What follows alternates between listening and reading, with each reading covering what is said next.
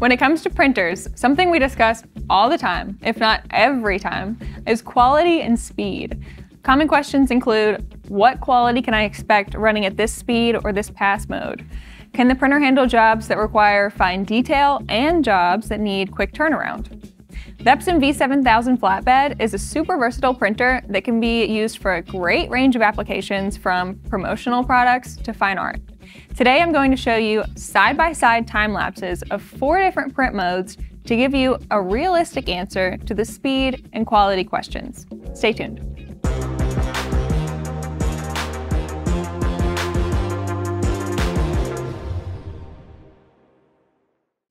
We thought instead of just doing a video on the different pass modes to show speeds, we would dig a little deeper into what it takes to achieve the fine art quality and ultra fine text that Epson boasts about.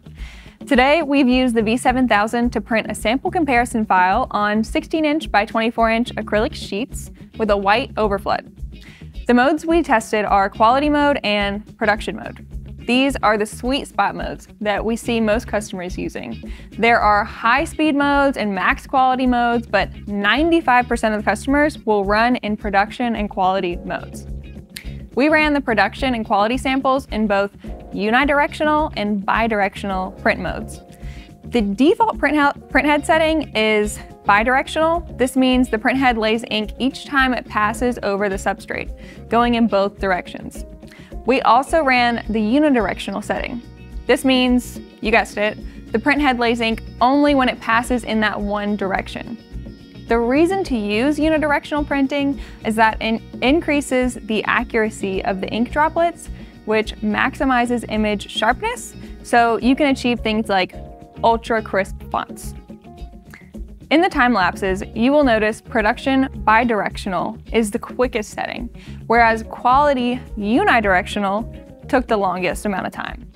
As expected, the highest quality print was the one that took the longest. But really, we were surprised to see that all these prints came out looking really good and pretty similar to each other. The biggest difference was in the two-point font. We saw a really clear two-point font on both quality and production unidirectional modes.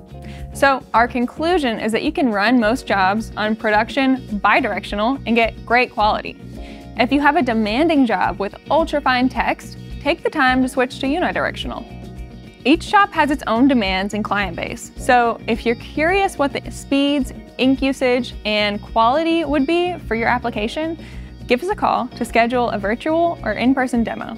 It's worth checking out the very highest quality flatbed printer on the market for under 100,000. Leave your comments and questions below. Thanks for watching.